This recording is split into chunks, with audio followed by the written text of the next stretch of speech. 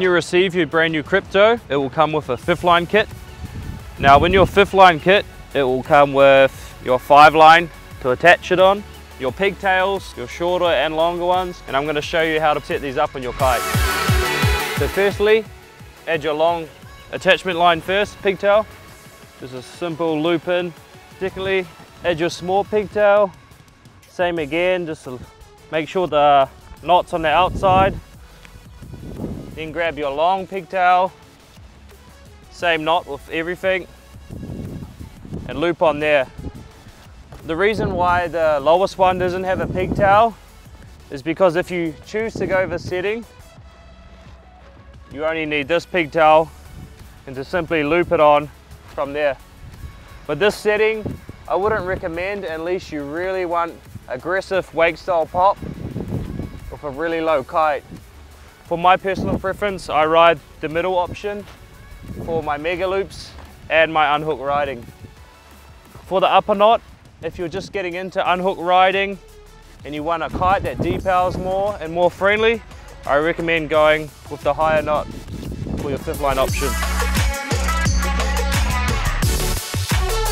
So your fifth line will come, you'll have two line lengths exactly the same, it will tell you which ones are, and then we'll have one black line, a little bit longer, and then one grey pigtail line. Once you've hooked it up like this, simply take off your bridle attachments, both ones in the middle and then the second one out. The first one out from the center is where you attach your fifth line.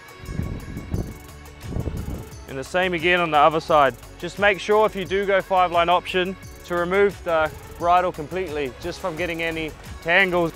So now my fifth line is connected and I'll continue to take the bridle off the whole way and then it'll be set up perfectly for five line.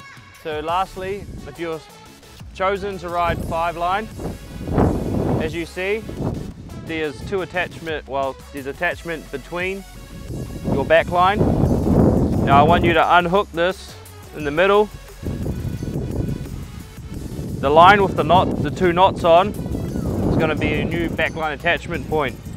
So I want you to remove the extension for your bridle option. Remove that, that's with your bridle. And I want you to rethread just a single line with the two knots on back on your kite. And now this will be perfectly tuned when you go five line. Also, as you see, we have three different options for back line. So my personal preference, I stick with the the very outside, the reason for being, it's the lightest bar pressure and the fastest turning. If you want harder bar pressure, definitely try the middle one. If you still want harder, try the middle one again. These options are really good if you go for a smaller kite and, and the kite feels a little bit too quick for you, and try the slower settings.